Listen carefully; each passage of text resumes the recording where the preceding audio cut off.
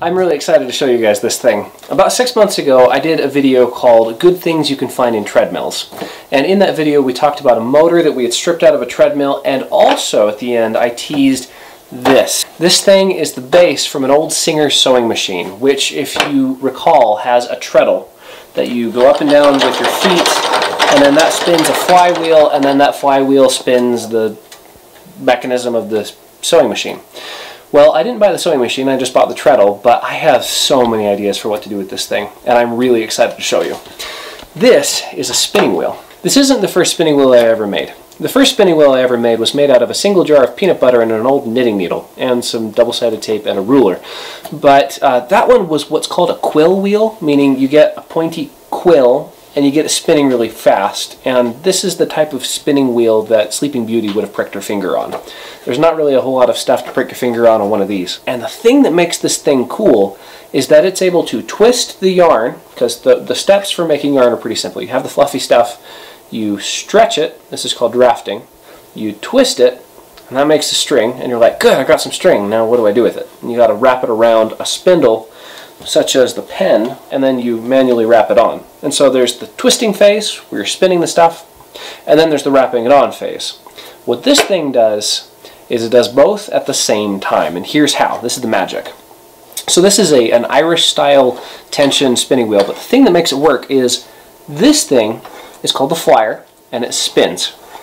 Now, on the same shaft, but spinning independently, is the bobbin. And the bobbin can spin by itself without the flyer spinning, and the flyer can spin by itself without the bobbin spinning. There's a shaft that runs through the middle of this hollow tube in the bobbin, and that's the way that works.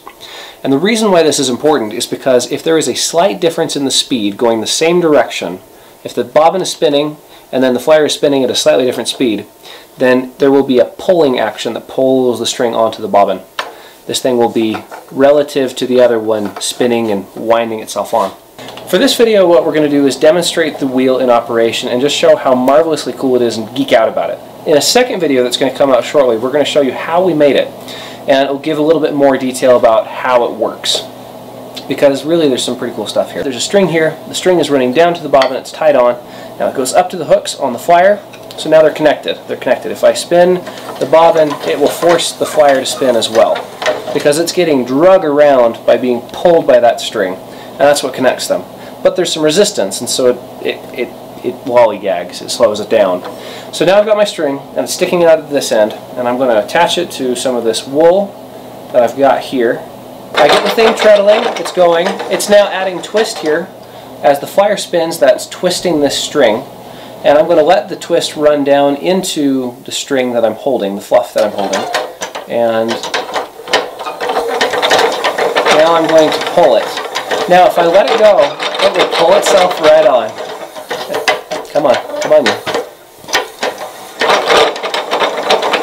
So I'm drafting and then letting it go into the machine.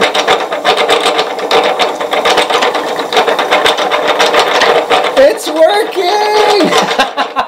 so this is the string we just made in that few seconds of treadling and I'm going to make it go backwards and just show you how much it made it made and wound on all this string. And then when you're finished, all you have to do is lift this out and then boom, there's a bobbin of string.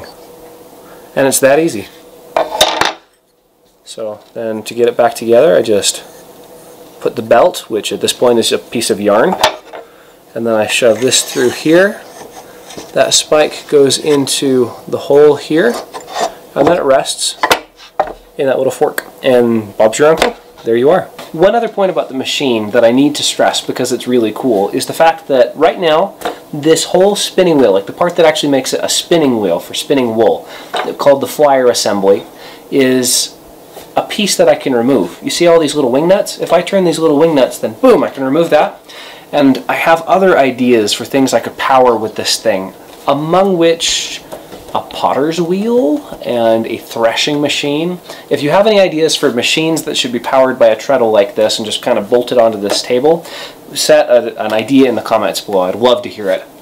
If you're new to the channel, we like to make things from scratch and to understand what is implied by stuff.